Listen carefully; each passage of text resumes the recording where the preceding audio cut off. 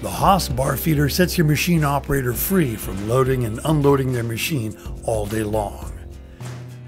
With the bar feeder, your lathe can run unattended for hours while your operator gets other jobs done. The bar feeder is easy to set up and use.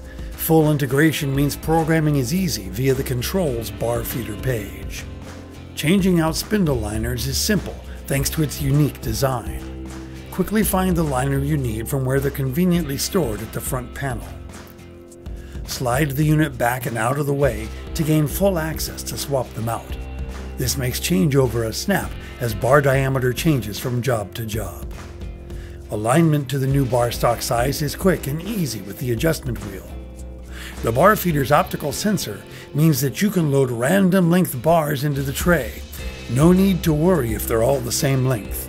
Stainless steel runners guide your stock into the loading tray. Faster rapids save you time with every bar. And you don't need tools to install this push rod. It simply locks into place. Change the push rod and the liner and you're ready for your next job.